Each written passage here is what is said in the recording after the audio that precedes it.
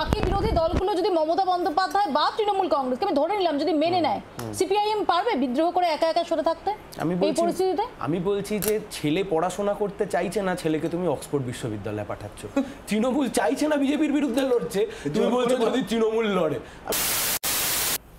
আমার প্রথম কথা হচ্ছে, আমি তোমার প্রতিবেদনের দু তিনটে লাইন ধরে বলছি। যে প্রথম কথা আমি দেখলাম যে কংগ্রেসের হাতে বিরোধী দলের হ্রাস থাকবে কি না তোমার প্রতিবেদনে।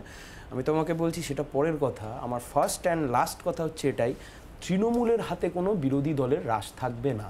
তার কারণ রাষ্ট্রপতি ভোট উপরাষ্ট্রপতি ভোটের সময় প্রমাণ করে দিয়েছে যে তৃণমূল কংগ্রেস কখনো কোনোদিনও ভারতবর্ষের বুকে রাজনীতিতে বিজেপি বিরোধীর যে জায়গাটা সেই জায়গাকে কখনো তারা শক্তিশালী করতে পারে না। গোটা ভারতবর্ষের যখন রাষ্ট্রপতি নির্বাচন নিয়ে মমতা বন্দ্যোপাধ্যায় ইনিশিয়েটিভ নেন তখন বামের সিপিআইএম তার কে হ্যাঁ, সিপিআইএম কে হ্যাঁ। গিয়ে ওখানে অস্তিত্ব বাঁচানোর জন্য সেই ফোরামে গিয়ে যোগ দিতে হয়। আমি আমি তোমাকে বলছি তুমি এমন ভাবে কেন আর বলছো যদি বাকি দলগুলো বাকি বিরোধী দলগুলো যদি মমতা বন্দ্যোপাধ্যায় বা তৃণমূল কংগ্রেসকে আমি ধরে নিলাম যদি মেনে নেয় সিপিআইএম পারবে বিদ্রোহ করে একা একা সরে থাকতে? আমি এই বলছি পরিস্থিতিতে? আমি বলছি যে ছেলে পড়াশোনা করতে চাইছে না ছেলেকে তুমি অক্সফোর্ড বিশ্ববিদ্যালয়ে পাঠাচ্ছ। তৃণমূল চাইছে না বিজেপির বিরুদ্ধে লড়ছে। তুমি বলছো যদি তৃণমূল লড়ে। আমি তোমার একটা কোনো কথা হলো। আপনাদের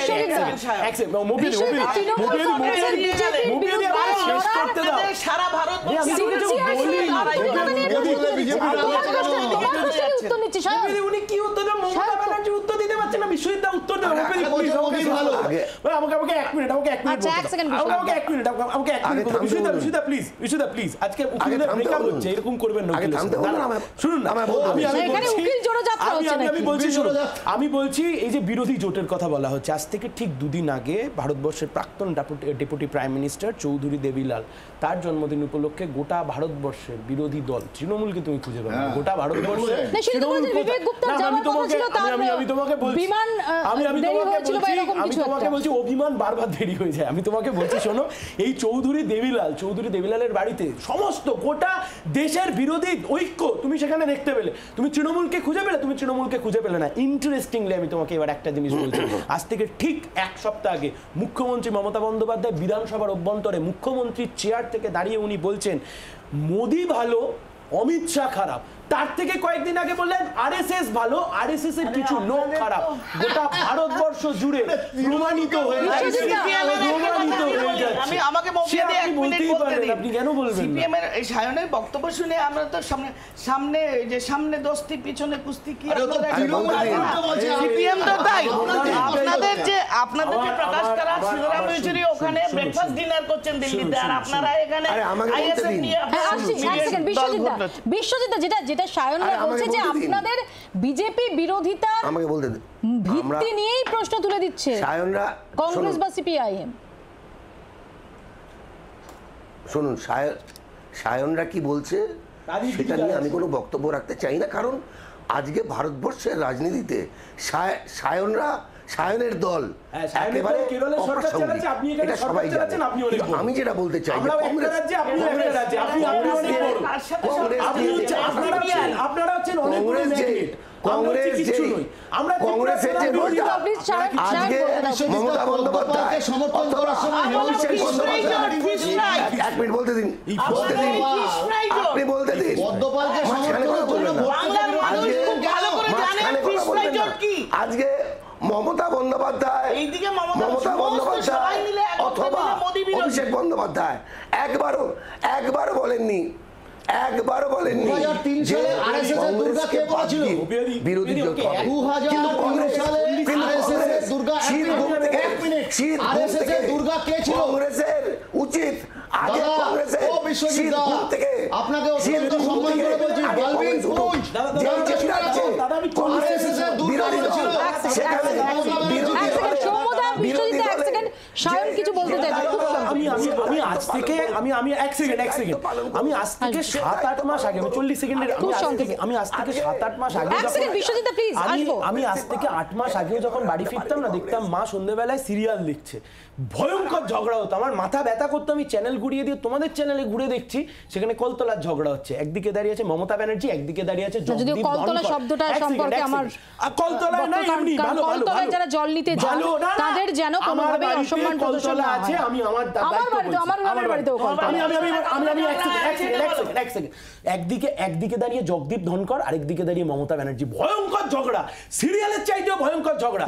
সেই জগদীপ ধনকর যখন উপরাষ্ট্রপতি প্রার্থী হলেন অভিষেক ব্যানার্জি একুশে জুলাই সন্ধ্যাবেলায় বললেন আমি জগদীশ ধনকরের বিরুদ্ধে ভোট দিতে যাব না। তারপর ভোটে জেতবার পরে তৃণমূলের ডেলিগেশন গিয়ে একগুচ্ছ গোলাপ নিয়ে শুভেচ্ছা বার্তা জানিয়ে দিয়ে কে কার বিরুদ্ধে লড়ছে কে কার বিরুদ্ধে লড়ছে? কেউ কারোর বিরুদ্ধে না। বলছে অগণতান্ত্রিক শুভেন্দু অধিকারী যদি যেত উপরাষ্ট্রপ্রধান যদি হন, তাকে যদি কেউ যদি তো আমি কারও পক্ষ নিয়ে বলছি যেত, কিন্তু তুমি এটা বলাটাই হলো। যদি যেত যেত বিজেপির নেতা হয়ে বেরোতো কিন্তু ও ত্রিশূলের ফিশ নেতা ফ্রাই, হিসেবে। না, না, ফিশ ফ্রাই খেতে কি? ফিশ ফ্রাই খেতে কি? কংগ্রেস কংগ্রেসের যে কথা উঠছে আজকে সারা ভারতবর্ষে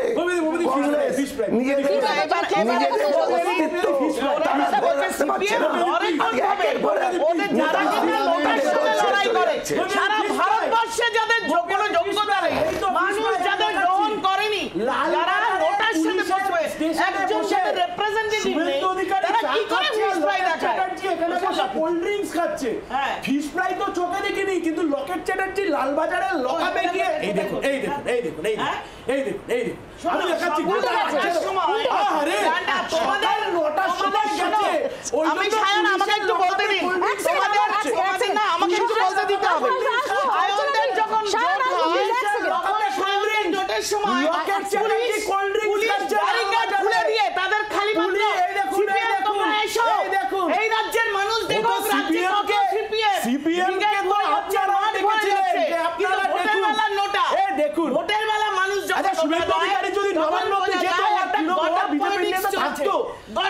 থাকতো। এবং আপনি বলুন তো আগামী পাঁচ বছর শুভেন্দু অধিকারী থাকবে ছিল বিজেপিতে আপনি বলুন আপনি বলুন না, আপনি বলুন দেখালে শুভেন্দু এক সেকেন্ড, অধিকারী এক সেকেন্ড, আগামী এক পাঁচ সেকেন্ড, বছর এক বিজেপিতে সেকেন্ড, থাকবে ভোট বলুন না কেন? বলুন মানুষ কেন অর্থনৈতিক বোঝে সায়ন, না? না আমরা প্রসঙ্গ আগামী যাচ্ছি আমি একটা আপডেট দেবো আমি একটা আপডেট দেবো এআইসিসির পর্যবেক্ষকরা অজয় মাকেন মল্লিকার্জুন খার্গেরা তারা একটি রিপোর্ট দেবেন কংগ্রেসের যে অন্তর্বর্তী প্রধান সোনিয়া গান্ধীকে আজ রাতে অথবা আগামীকাল রাজস্থানের এই পরিস্থিতি নিয়ে এটা এই মুহূর্তের আপডেট আমি সৌমদার কাছে আসব। সৌমদে যে কিছু হলেই কংগ্রেসের বিধায়করা তারা বিদ্রোহ করেন। আপনারা যে কোনো ক্ষেত্রেই।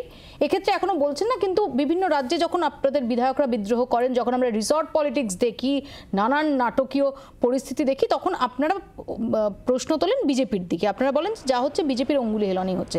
অভিষেক বন্দ্যোপাধ্যায় বিশেষ করে গোয়া, ত্রিপুরা নির্বাচনের সময় একাধিকবার প্রশ্ন তুলেছেন যে কংগ্রেসের বিধায়করা তারা মানে বিক্রি হয়ে যান যে কারণে কংগ্রেসকে ভোটটা দিলে সেটা লাভ নেই তো আমার এখানে আপনার কাছে প্রশ্ন যে কংগ্রেসের বিধায়করাই বা এত ভালনারেবল এত প্রোন টু আমি বলছি বিদ্রোহ কেন?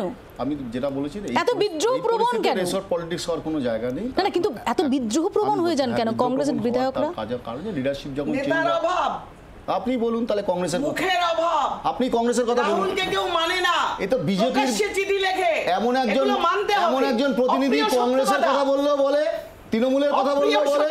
বিজেপির কথা একটু বলে। মেনে নিন, এটা আপনি বলেন। সত্য কথা, আপনার নামটা বলেন ব্যানার্জি করে দিক। কেউ আর রাহুল গান্ধীকে আরে মানছে আপনার কথা বলেন ব্যানার্জি হয়ে যাক। এটা আমি বলব না আরে আপনি বলেন তাহলে আপনি।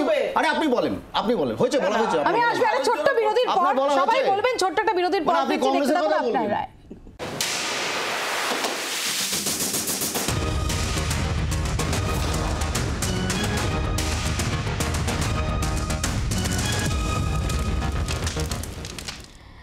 একদম শেষ পর্যায়ে চলে এসেছি। সৌমদা কিন্তু এটা কি মানবেন না যে আমরা যদি পরপর দেখি, সেটা মমতা বন্দ্যোপাধ্যায় হন শরদ পাওয়ার হন, জগনমোহন, সাম্প্রতিক জগনমোহন রেড্ডি হন, ওদিকে গুলাম নবী আজাদ হন, কংগ্রেস লিডারশিপের ভূমিকা, এই যে রিজিয়নাল লিডারশিপ হ্যান্ডেল করার ক্ষেত্রে কংগ্রেসের কেন্দ্রীয় লিডারশিপের ভূমিকা